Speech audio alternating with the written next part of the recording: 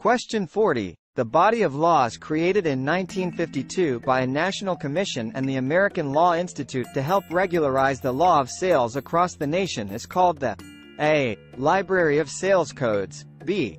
Uniform Commercial Code, UCC, C. National Sales Standardization Protocol, D. None of the above. Correct answer is B. Uniform Commercial Code, UCC.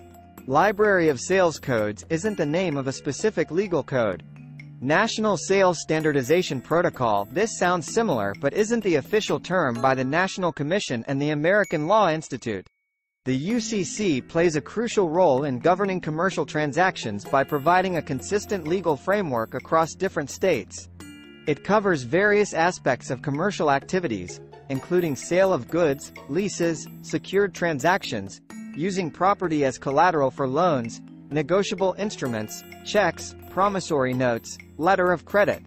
While each state can adopt its own version of the UCC, there's a high degree of consistency across these versions, promoting predictability and efficiency in interstate commerce.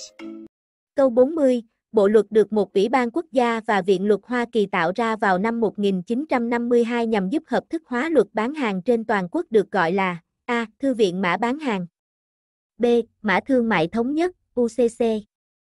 C. Nghị định thư tiêu chuẩn hóa bán hàng quốc gia.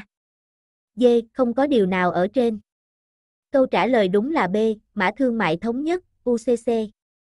Thư viện mã bán hàng không phải là tên của một mã pháp lý cụ thể, Nghị định thư tiêu chuẩn hóa bán hàng quốc gia điều này nghe có vẻ tương tự nhưng không phải là thuật ngữ chính thức của Ủy ban Quốc gia và Viện luật Hoa Kỳ.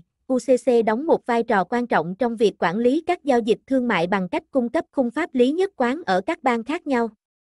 Nó bao gồm các khía cạnh khác nhau của hoạt động thương mại, bao gồm bán hàng, cho thuê, giao dịch có bảo đảm, sử dụng tài sản làm tài sản thế chấp cho các khoản vay, công cụ chuyển nhượng, xét, kỳ phiếu, thư tín dụng.